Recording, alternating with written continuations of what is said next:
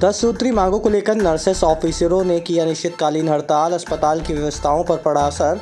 पदोन्नति सहित old pension जैसी प्रमुख मांगों को लेकर अस्पताल के सामने धरना प्रदर्शन। आपको बता दें कि नर्सेस एसोसिएशन के द्वारा हड़ताल की घोषणा किए जाने के बाद अब नर्सेस ऑफिसरों ने भी हड़ताल का रास्ता अपना लिया है।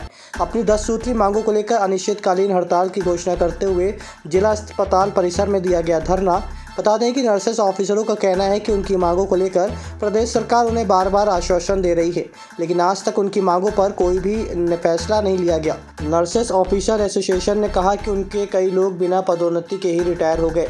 दिन रात काम करने के बाद भी उन्हें नाइट भत्ता नहीं दिया जाता। स्टूडेंट्स नर्सेज ओल्ड पेंशन से अलग रखा गया है, जिसके लिए कई बार प्रदेश सरकार से मांग की गई, लेकिन अभी तक उनकी मांग पूरी नहीं हुई। केवल आश्वासन ही मिला नर्सेस ऑफिसर एसोसिएशन के द्वारा इस बार अनिश्चितकालीन हड़ताल का रास्ता अपना लिया गया है। उनका कहना है कि जब तक उनकी मांगे पूरी नहीं हो जाती, वह काम पर वापस नहीं आएँगी। वहीं अचानक हुई हड़ताल से देखा जा रहा है कि अस्पताल की व्यवस्थाओं पर भी काफ़ी असर पड़ रहा है। हमारे कंचन पाठक नाम है, संभागीय अध्यक्ष हमारा दस सूत्री मांग के लिए हम लोग हड़ताल कर रहे हैं शासन से। पहले भी 2018 में हम लोग की हड़ताल हुई थी, जो कि आज तक पूरी नहीं हुई। तो इसके लिए हमको मजबूरन स्ट्राइक करना पड़ा।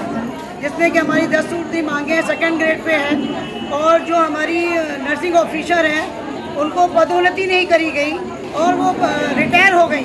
तो हमारी पदोन्नति करा जाए और नाइट भत्ता हमारी, जैसे डॉक्टरों को मिल रहा है, वैसे हमारी स्टाफ को नाइट भत्ता दिया जाए।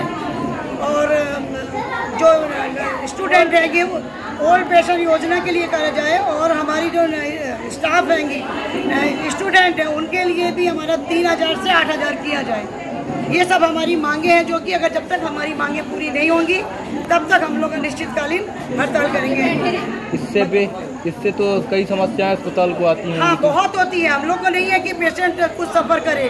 पर हमारी मजबूरी है, जो हमारी मांगे पूरी होंगी तो तत्काल हम लोग स्ट्राइक से हड़ताल नहीं करना चाहते हैं कि हम पेशेंट को देखें ऐसे कष्ट में।